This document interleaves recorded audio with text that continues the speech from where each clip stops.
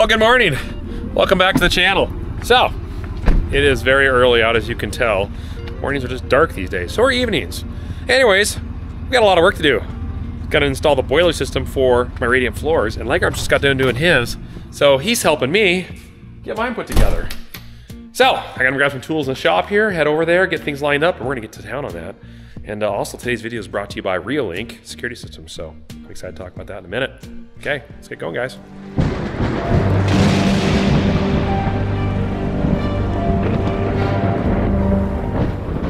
So we got this heater that uh, buddy of mine let me use for my house. That thing right there works really well. A little chilly outside, tiny bit of snow on the ground. And uh, I'm over here at Nick's place and what we're gonna do is we're going to work on his radiant floor heat. So we're gonna put his manifold in. It's a stainless steel manifold. We'll get that tied up and then we'll figure out where we wanna put the top manifold for his garage and then we'll run all the lines from his garage to that manifold and then while we're doing that we'll figure out how we want to do the manifold and tubing and the water separator and the fill port and all that good stuff on that wall and that's what we're going to try to work with so he got uh, a lot of stainless steel valves and uh, fittings so we're gonna go ahead and use a lot of that stuff instead of brass because brass is super expensive. Oh my goodness, has it gone up. I used brass. It wasn't quite as bad at the time. It was about a wash between the stainless steel and brass, but now stainless steel is cheaper than brass. crazy, absolutely crazy. So anyways, there's a bunch of goodies in this box. And I need to grab all these goodies and lay them out and get it figured out exactly what we got going on. So since he's got a two zone setup in his house, he doesn't have any different zones than that. And what I mean by zones is that means, for example, all of his garage is one zone. That's just one, one heating unit. All of his basement is another zone. So we're having two pumps. So one pump for each zone, which is uh, gonna be awesome and it works really well. And then technically this has three pumps in it. One in the boiler, one for each of the zones. Anyways, you get the idea. Lots of stuff.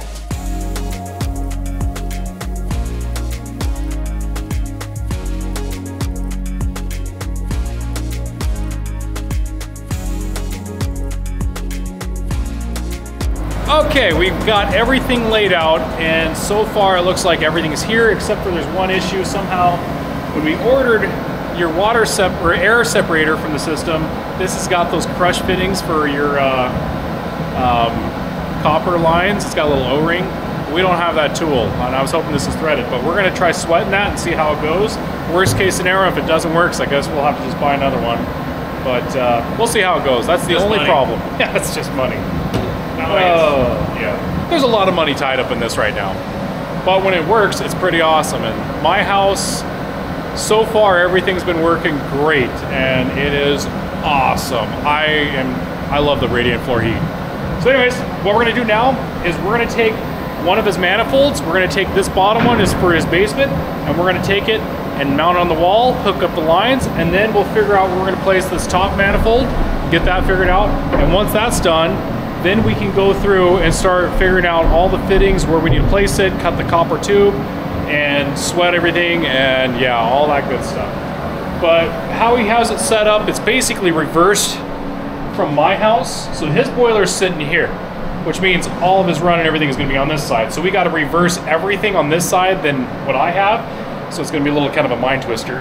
My boiler would be technically right here, and my manifold system is right on that side. So he wants to do everything backwards. I don't know why, but he just wants to make things complicated. But yeah, I think it's gonna work out great. So we just gotta figure out how we wanna do these these uh, runs and yeah, good deal.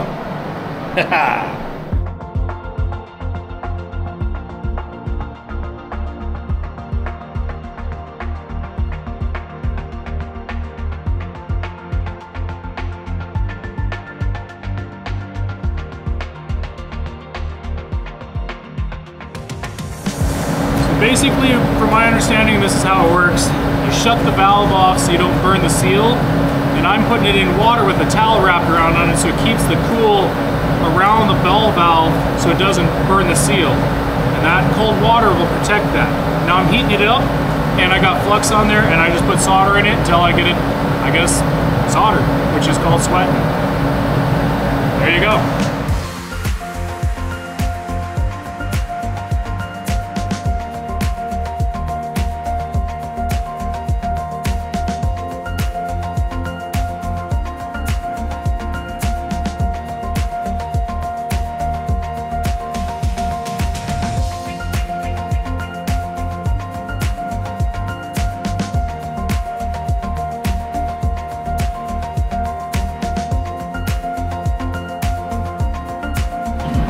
Good deal. We're uh, we're making pretty good progress. Have one last uh, joint to sweat, and that's right here. And then everything else should be basically together except for the pressure tank. We got to put the pressure tank on the system, and uh, then we can. Then we got to run the lines to the garage from the radiant floor, and then pressurize the system. Make sure there's no leaks, and if there's no leaks, coolant. Awesome, good deal. So let's uh, let's sweat that.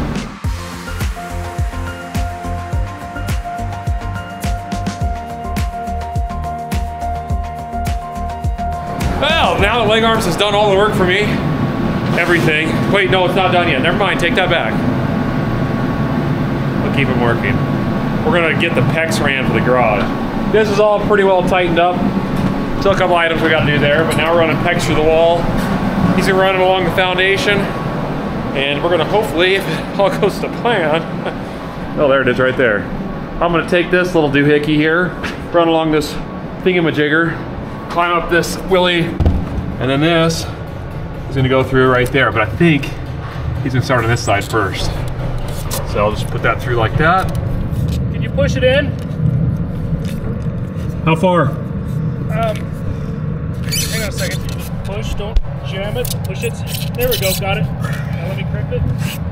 Yeah. Okay, we can pull it through. All right, guys, let's show you a security system that we've been using here on the farm since 2020, believe it or not. So around four years ago, we decided we wanted to increase the video surveillance within inside of our shop as well as outside and our whole farmyard, all the houses and everything. We wanted a central unit that we could access remotely through our phones, computers, wherever you're at, and that everybody on the farm can have access to so we can all share the same security system. Well, that's where Reolink came in. And this system has been amazing. This is uh, one of the cameras here. Two-way audio communication, 4K video, night vision, pretty awesome. So this system, it's all wired for inside your home and you can put up up to 16 channels, 16 different cameras. We've got them all over our shop, inside and outside. And I've been using the system almost every day, whether to see when dad's at work so I know when I need to get there, or when Legarms leaves work so I can be like, yeah, I guess it's time to go home. He left, I can leave too. We put one of these systems in my brother's house, in our lake house, in our shop, and this one here is going in my future house, which is being built right now. Probably the biggest selling point for this system when I was doing research on what system to buy four years ago was the app. Everybody said the app is simple and easy to use, quick, responsive, and yeah, it's good. Especially the smart detection. Smart detection is your camera's ability to use software that can say, hey, that there is a car. Okay, so instead of literally sitting there and having to like put everything in high speed and watch hours of footage till you see something happen, it highlights moments where activity has been taking place. And that way you can just go back to those spots and be like, bam, oh, look at that. And you just never know what you might record on your camera. A couple years ago, I caught a meteor. Well, didn't quite catch it. I caught the light from it, lit the whole sky up. I happened to be out that night, so I went back on my security system, found the footage, and bam, there you go. That's from a meteor, the size of a Volkswagen bug flying into Canada somewhere. Or it might be this little accident that happened out in our street. Yeah, that didn't go very good. Or it could be something as sad as, say, a hailstorm when you're on vacation watching remotely. We've done this twice now. And if for some reason you can't get a wired connection to your camera, don't worry because we have one of these a solar panel with mounting hardware. So put some on the side of your building somewhere, fence post, wherever you need it to be, and grab one of these. This is a 360 camera, able to tilt up, tilt down, night vision. I think it has two-way audio and wireless. This plugs into that solar panel with a battery pack inside. Keep it charged up, and then you can get video surveillance without having be connected to your network video recorder. The Reolink systems are great at your security, whether outdoor, indoor, or off grid. So if you're interested in a security system for your property, head to the link in the description below and check out Reolink and their smart security cameras. I highly recommend them. We've been using them for a while now and we will continue to use them for a while, especially in the new house. Can't wait to get them up. And back to work we go. If you notice, it's got coat, typical hoodie, and gloves. I'll, sh I'll show you what, what, what's going on here. It, it just makes so much sense because tis the season. It's the white glow. Whew. It is currently hovering just above single digits Fahrenheit. So we're at around 11 degrees. Here's my snowdrift that I've got going on here. Planned it perfectly with that Canadian wind as it comes through from the northwest. It'll make this big snowdrift right here. So when we build the deck, we'll be able to jump off the deck into the snowdrift. Don't doubt that. I've got teenagers coming in a number of years. I see that day coming. Don't tell mom, because I might do it too. Ooh, sliding door. All right, where were we? And number two. And number three. Number four. Five. Seven. And eight. Okay, we uh, finished running all the PEX tubing from up in the garage, and that's hooked up to that manifold. And uh, we're charging the system with air to see if there's any leaks. Now, we still have to put the expansion tank to the system. There's just two fittings we're missing. We got to go in town to get that and grip them on. But other than that, it's all basically plumbed together, and hopefully we don't find too many leaks. I'm sure there's going to be some. A lot of sweating and a lot of threads to not have a leak. And if we did it perfect with no leaks, we need to do this perfect for a perfection. Or profession. Profession. There you go. Not perfection. Little one right there. Itty bitty one. Oh. Oh.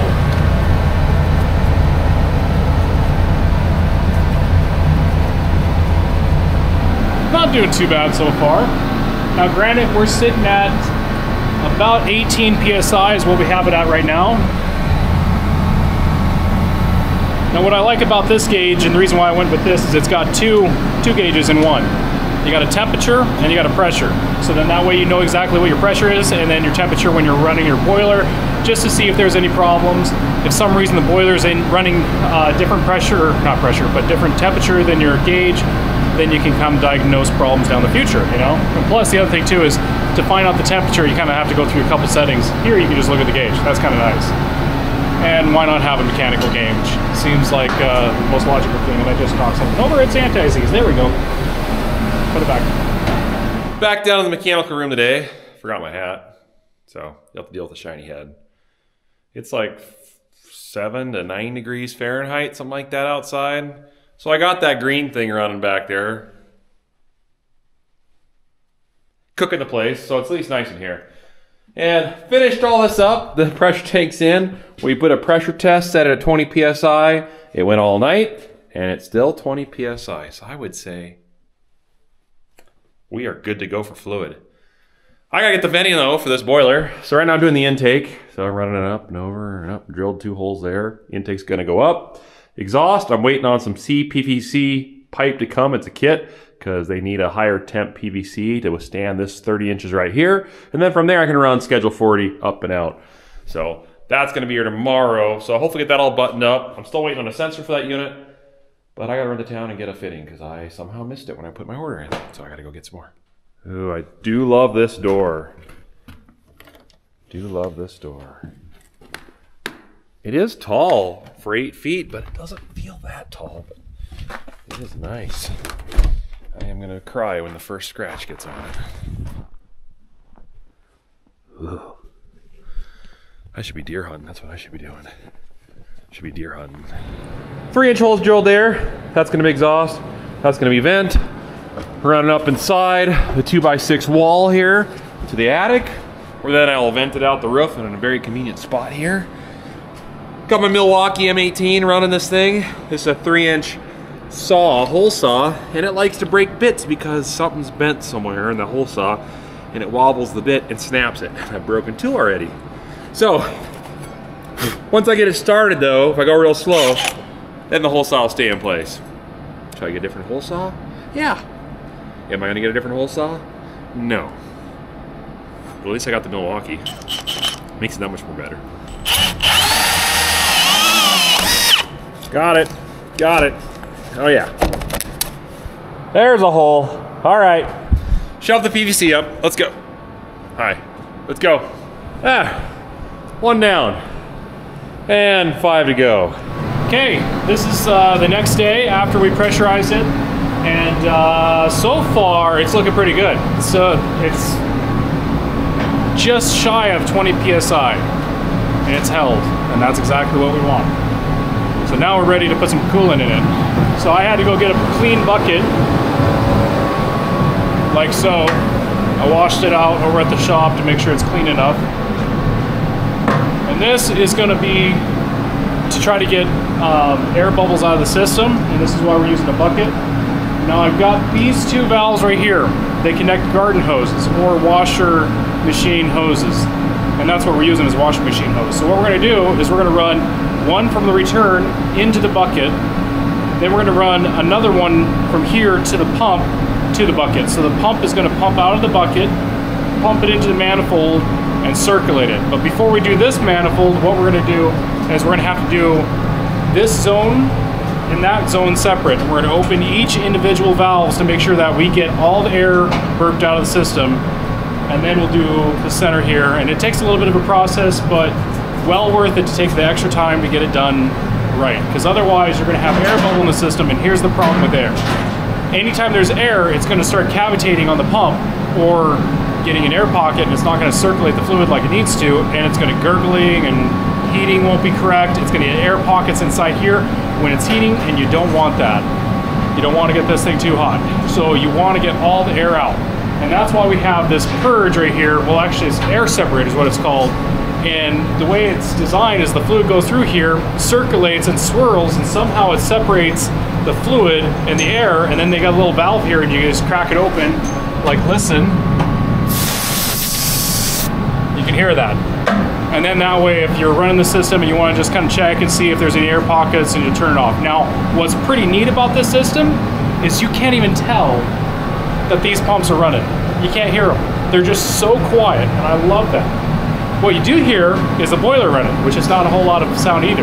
So it's a very quiet system and really awesome. So yeah. Okay, it looks like Nick's got the pump ready to go.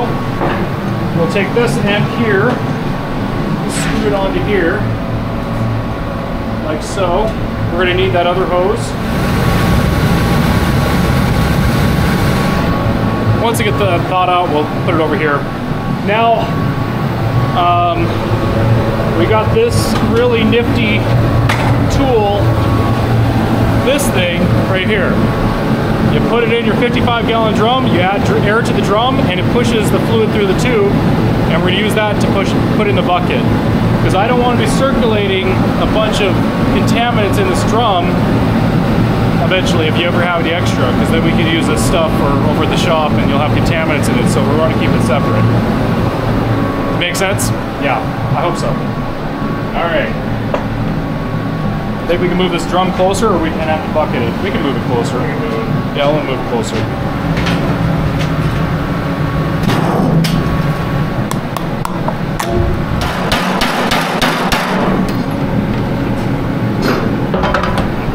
There's stuff on it.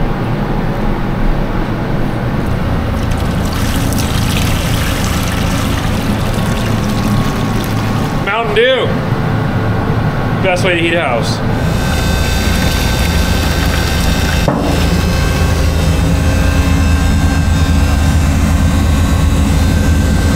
So we're only running fluid through one run. Right here is a little sight glass and it's got a little gauge on it so it can tell how much uh, pressure is going through it when the system's running. You'll actually see that thing start to fill up with coolant when it's finally reached it, but we got to go through quite a bit of fluid. And, and if I remember correctly, I went through about six gallons a run on mine, but I had five uh, five eighths runs. He's got half inch, so it might not take as much for him. He's got more runs than I do, but a little smaller tube. I went through a whole entire 55 gallon drum and I had maybe four gallons left, so we'll see what his does. There you go.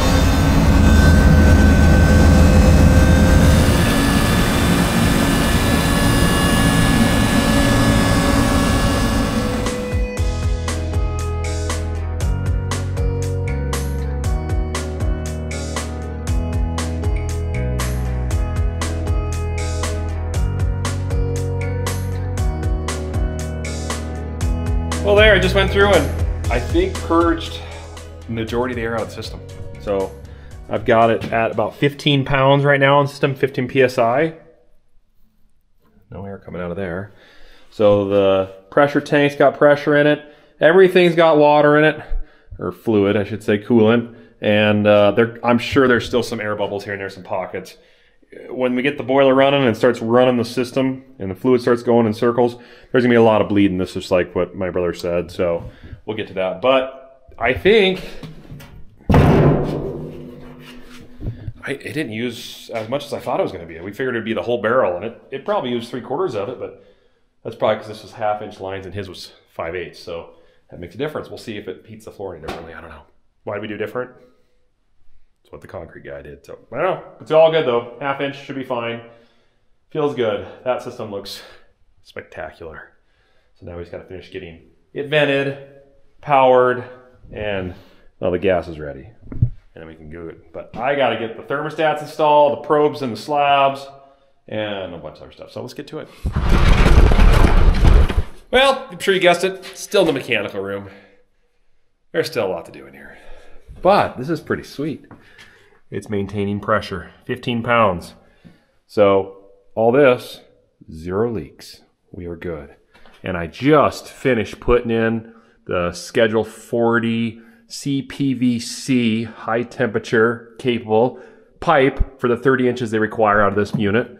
Then it goes to Schedule 40 PVC and up. And then I did the Rinnai as well. So now this one's got both the Schedule 40. That manual on that said it can take PVC for both the intake and exhaust as long as it's Schedule 40. So this one though was the only one that required that CPVC and that's hard to come by in these parts. I had to order off the internet. So I got them all hung. They're all strung to the wall. Let's go up there and take a look at that. See, right there. So yes, three inch floor boiler, Rinnai instant hot water. And then over here will be the forced air furnace, which we don't have yet, and those will be two inch as well. And then all of that will end up in the attic right here, and I'll go through and find a way to push them all through the roof when the metal's on. I'm gonna wait till then and put all the elbows on and everything. So that's good. We're making good progress. This wall is gonna be well used. We planned for that. That's why we made a two by six wall there. So smart thinking, guys. I'm glad you told me to do that. I feel like this is a scene out of Interstellar with the patterns on the floor. Someone trying to tell me something. Have you guys seen that movie? It's a good movie. I like that movie. Anyways. Yeah, still snow coming in. Look at the sunroom. it's called the snow room for now. The snow room. That's just the way the wind was blowing and it's got gaps all along there. All that snow blows up and ends up in here. But that's okay. We'll get it taken care of eventually. So windows are still holding on. We do have a couple replacements to do. This one showed up cracked. Got a crack from the bottom up to the top, and then there's one down below as well. But um, it's covered under warranty and everything. It's considered a handling fracture or whatever. I don't know. It came that way, so it wasn't our fault. So it'll be taken care of. We'll get that fixed when the time comes. So the builders are off hunting this week, and uh, they're not going to be back till next week, so it's kind of quiet here. And it's cold. Big reason about wanting to do a walkout basement. So you can carry big things right into the basement. Perfect. Oh yeah. Easy as that. Simple. There you are. Hey, buddy. You made it. Is that going to be a fun run for you, huh? Is that going to be a fun run from you? Ran all the way from my parents' place. Well, I guess it's still my place. The farmyard all the way here. Oh, he's back outside. All right, he wants to be out there. Back and forth he's going to be. Back and forth. What a mess. Who was in here last? Oh, got this all set up. See how I had to twist it like this? Well, I originally put the orientation of the two lines for the water from the cistern and the 20 some pounds of pressure I always have to have the pump on this wall. And then I changed plans and decided, you know, I don't want on that wall. I want the pump on that wall because this wall is going to be the water softener. So I'm putting the pump here. It's gonna be elevated right here. Pressure is gonna come up, come back over, come over, and then it's gonna come up here into my pressure tank, which is gonna have a shelf. I'm gonna build a big shelf up here. Stand's gonna hold all this. And then it's gonna also come across here into the water softener, and then across one inch PEX all the way over, up and around, or however down to this wall here, which when I get the plumber on site, he's gonna figure out exactly how he wanna set the house up for all the house plumbing, the potted water. But this is a nice wall to put the pump and pressure tank on. And these walls are nice and strong, three quarter inch plywood with ICF uh, walls with screws put in all over the place. I could hang the whole tank on that if I wanted to. No problem.